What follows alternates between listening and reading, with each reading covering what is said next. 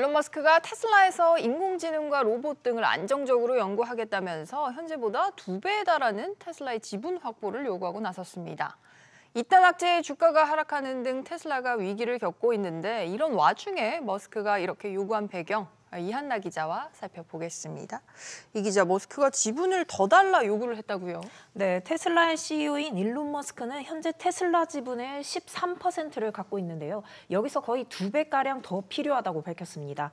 머스크는 자신의 X에 테슬라의 지분 25%는 더 있어야 AI 로봇 분야의 리더로 키울 수 있다면서 지금은 영향력을 행사할 수 있을 정도지만 뒤집어 엎을 만큼은 아니다라고 말했습니다. 머스크는 25%의 의결권을 갖기 위해서는 차등 의결권 주식 구조도 괜찮다고 밝혔는데요. 차등 의결권 주식이란 일반 주식보다 의결권이 높은 주식을 말합니다.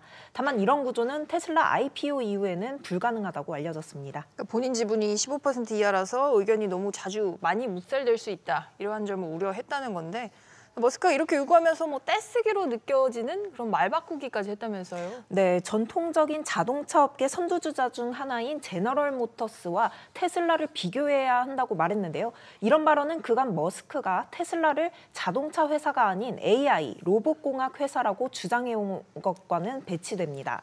지난해 연말 한 방송에서 테슬라가 일본 도요타에 비해 과대평가됐다고 평가하자 당시 머스크는 기준이 잘못됐다. 테슬라는 AI 로봇 공학 회사다라고 지적한 바 있고요. 실제 테슬라는 작년 3분기 재무 신고서에서도 자사 사업에 대해 AI, 로봇 공학, 자동화 제품과 서비스에 집중하고 있다고 설명했습니다.